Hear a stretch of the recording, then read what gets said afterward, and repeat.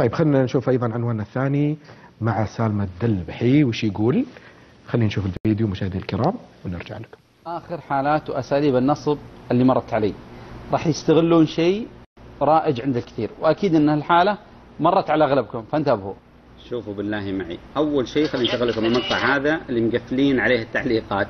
هذا مقطع راح يمر عليك إذا تستخدم مواقع ال social media. مروج حاطين لحظة حاطين اتصال. هذا اتصال في تغطية سابقة لوزارة التجارة. السلام عليكم.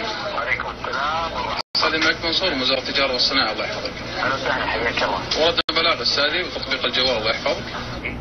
ياخذك بعدين النموذج هذا. أول شيء الاتصال حقهم يوهمك أنه إذا كنت متعرض آه، إلى آه، عملية احتيال سابق ولا مشكلة من مواقع وتطبيقات ومتاجر آه، على الأونلاين آه، قدم البلاغ وإحنا بنجيب لك حقك. فهم بيسرقونك أصلا مرة ثانية.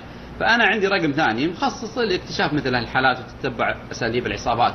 فأعطيتهم الرقم الثاني وحطيت اسم وهمي خلينا نقول بدال سالم حطيت منصور. جاني اتصال من هذا الرقم صفر واحد كأنه خط أرضي. ولما رديت عليه قال سالم أنت مقدم بلاغ كذا كذا.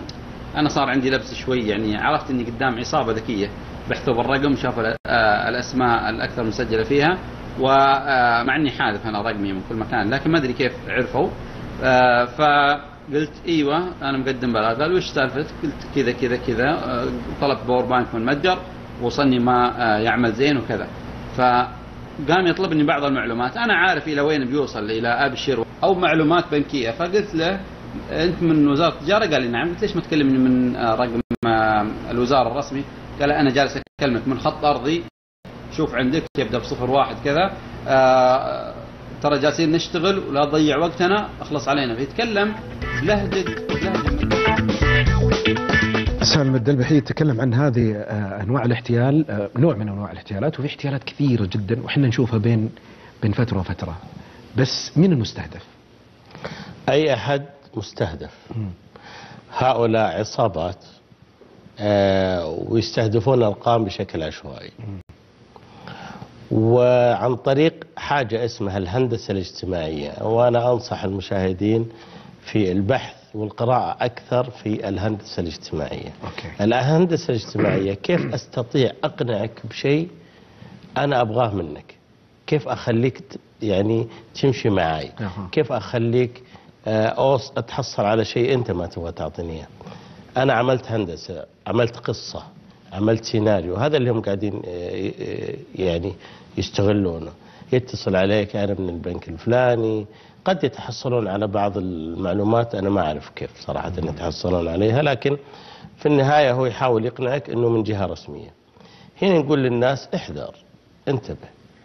في العادة آه، تجيك رسائل SMS من يعني الجهات الرسمية أو مثلا يجيك اتصال لكن الاتصال معروف الرقم موجود لكن ما يجيك اتصال من جوال إيه. أو رقم أرضي عادي ففي النهاية أنت متى مضطر تتجاوب معه خصوصا أنهم يتصلون يقول لك أنا من البنك الفلاني أي.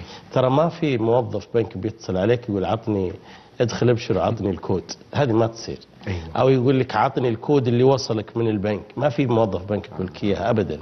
ولا موظف شركة اتصالات ابدا. لأنه هذا الكود خاص فيك أنت.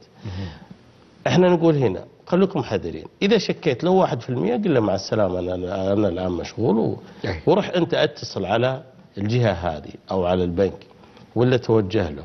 لكن لا تتفاعل. يعني إحنا شفنا ناس تفاعلوا بحسن نية وراحت عليهم مبالغ للأسف. جميل جدا.